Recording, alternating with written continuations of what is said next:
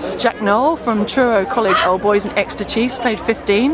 Um, that's the second victory for uh, England under 18s. How did it go? How did it go, Jack? Was it good to play out there? Yeah, definitely. I think we all uh, enjoy it out here, especially playing Australia. Conditions absolutely brilliant out here. Can't, can't it all. And yeah, we went out, played a good performance, had a good second win. So used uh, used our bench well. So I think yeah, come out And here all, and just played. all round, four tries, including including one for you. Yeah. Um, great platform by your forwards. Yeah, sorry, say that again. Great platform from your forwards there. Yeah, it was definitely. They gave us the base we needed.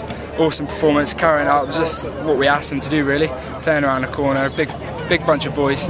Uh, David Cece gave us a good platform, carrying it up. So it was, yeah, it was a good, good bunch of boys to play with here. And what are you expecting on Sunday when you play Australian schoolboys? Just uh, basically the same again. Uh, exactly what they did here. Take take the ball up, be solid in the scrum, uh, be a well, good platform again for us back. So yeah, it's basically exactly the same as today really. That's great. That's a nice knock on your head there. Yeah, I feel it a bit coming up now here. Bit of rehab for you. Thanks, Jack. Cheers, Thanks. no problem. Thank you.